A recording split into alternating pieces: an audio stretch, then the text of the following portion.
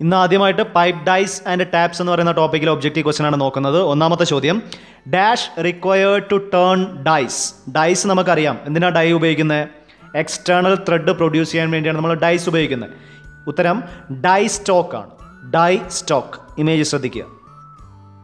രണ്ടാമത്തെ ചോദ്യം pipe die sets consist of dash pieces ഈ പൈപ്പ് ഡൈസെറ്റ്സിനുള്ളിൽ എത്ര പീസസ് ഉണ്ടെന്നാണ്. ഉത്തരം നാലാണ്. നാല്. ക്ലിയർ മൂന്നാമത്തെ ചോദ്യം what is the use of pipe ring gauge pipe ring ഗേജിന്റെ ഉപയോഗം എന്തെന്നാണ്? റിംഗ് ഗേജ് എന്ന് പറയുമ്പോൾ നിങ്ങൾ മനസ്സിൽ പെട്ടെന്ന് വരേണ്ടത് എക്സ്റ്റേണൽ ത്രെഡ് ചെക്ക് ചെയ്യാനുള്ള സംവിധാനം എന്നാണ്. അപ്പോൾ ഉത്തരം ഇവിടെ പൈപ്പ് റിംഗ് ഗേജ് ആയതുകൊണ്ട് എന്തായിരിക്കും? ഒരു പൈപ്പിന്റെ എക്സ്റ്റേണൽ ത്രെഡ് ചെക്ക് ചെയ്യാനുള്ള ഉപകരണമാണെന്ത്? Pipe ring gauge check the external thread on pipe അതാണ് ആൻസർ ക്ലിയർ അടുത്തതായിട്ട് പൈപ്പ് വൈസിലെ കുറച്ച് ഒബ്ജക്റ്റീവ് ക്വസ്റ്റ്യൻസ് ആണ്. ചോദ്യം ഇതാണ് pipe vice are used to hold the pipe up to dash diameter pipe vice എത്ര diameter വരെയുള്ള പൈപ്പ് ഹോൾഡ് ചെയ്യാനാണ് ഉപയോഗിക്കുന്നതെന്നാണ് മാക്സിമം ഉത്തരം അറുപത്തി മൂന്ന് എം എം.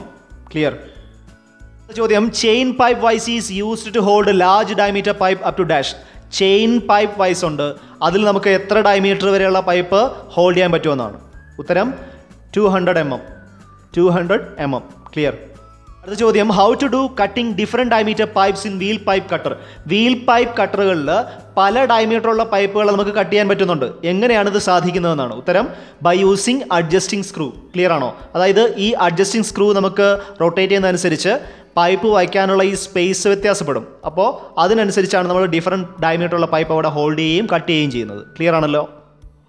അവസാനത്തെ ചോദ്യം dash can be adjusted to cut any diameter of pipe by adding on extra wheels and link അതായത് ഡിഫറെന്റ് ഡയമീറ്റർ പൈപ്പ് നമുക്ക് കട്ട് ചെയ്യാൻ പറ്റും.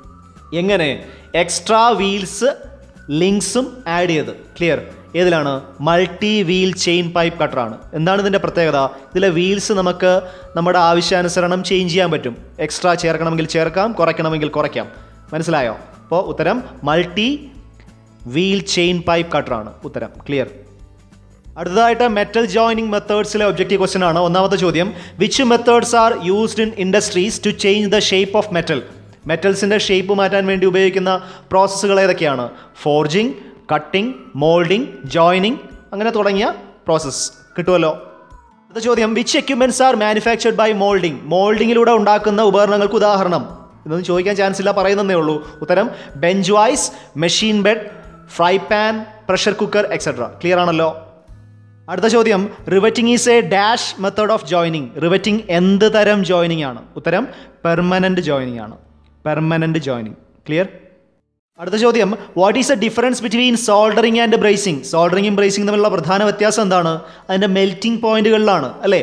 ഉത്തരം അതാണ് brazing has higher melting temperature than soldering സോൾഡറിങ്ങിനേക്കാളും melting temperature കൂടുതൽ ആർക്കാണ്?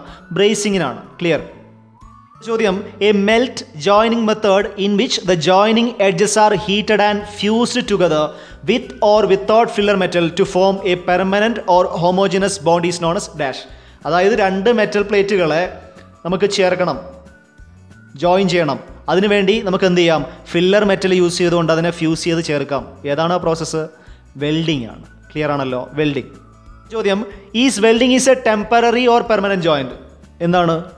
പെർമനന്റ് ആണ്. ഉത്തരം പെർമനന്റ് അടുത്ത ചോദ്യം which is the strongest joint and any type of metal of any thickness can be joint ഏതാണ് സ്ട്രോങ്സ്റ്റ് ജോയിന്റ് വെൽഡിംഗ് ആണ്. ഉത്തരം വെൽഡിംഗ് ക്ലിയർ അടുത്ത ചോദ്യം which welding joint is to be done without the application of pressure pressure നൽകാതെ നമ്മൾ ചെയ്യുന്ന വെൽഡിങ്ങിനെ എന്തെന്നാ പറയുന്നത് ഫ്യൂഷൻ വെൽഡിംഗ് ആണ്. ഉത്തരം ഫ്യൂഷൻ വെൽഡിംഗ് ചോദ്യം what are the heating source of welding വെൽഡിങ്ങിലെ heating source ആരൊക്കെയാണ്?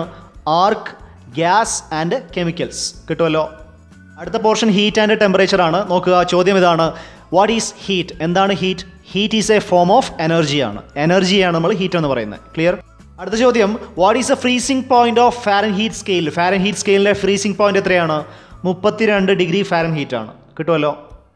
അടുത്ത ചോദ്യം what is a boiling point of Fahrenheit scale Fahrenheit സ്കെയിലിലെ boiling point എത്രയാണ്? ഇരുന്നൂറ്റി പന്ത്രണ്ട് ഡിഗ്രി ഫാരൻ ഹീറ്റ് ക്ലിയർ അടുത്ത ചോദ്യം what is a formula for conversion of degree scale അതായത് നമ്മുടെ ടെമ്പറേച്ചർ സ്കെയിൽസിനെ എങ്ങനെ കൺവേർട്ട് ചെയ്യും എന്നാണ്.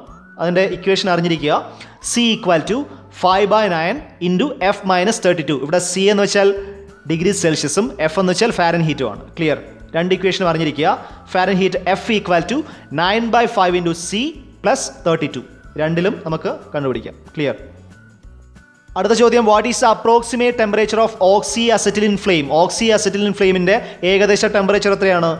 മൂവായിരത്തി ഇരുന്നൂറ് ഡിഗ്രി സെൽഷ്യസ് ആണ്. മൂവായിരത്തി ഇരുന്നൂറ് ക്ലിയർ ഇന്നത്തെ അവസാനത്തെ ചോദ്യം നമ്മൾ ഗ്യാസ് വെൽഡിംഗ് ചെയ്യുന്ന സമയത്ത് എത്രത്തോളം ഗ്യാസ് കൺസ്യൂം ചെയ്യുന്നു എന്നതിനെ ബേസ് ചെയ്തിട്ടുള്ള ചോദ്യമാണ്. ശ്രദ്ധിക്കുക. The thickness of plate is five m m and the nozzle size is thirteen what is the approximate consumption of gas per hour അതായത് അഞ്ച് എം എം തിക്നെസ് ഉള്ള പ്ലേറ്റ് ആണ് നമ്മൾ എന്ത് ചെയ്യുന്നത്? വെൽഡ് ചെയ്യുന്നത് പതിമൂന്നാണ് നോസിൽ സൈസെങ്കിൽ എത്ര ലിറ്റർ ഗ്യാസ് വേണം നമുക്ക് വെൽഡ് ചെയ്യാൻ ഒരു മണിക്കൂറത്തേക്ക്? ഉത്തരം മുന്നൂറ്റി എഴുപത് ലിറ്റർ. ഇത് ഫോമുലയോ ഒന്നുമല്ല കാണാതെ പഠിച്ചാൽ മതി. ഞാനിവിടെ ടേബിൾ കൊടുക്കുന്നുണ്ട്. ഈ ടേബിൾ മൊത്തം ഒന്ന് കാണാതെ പഠിച്ചു വെച്ചിരിക്കുക. ക്ലിയർ ആണല്ലോ?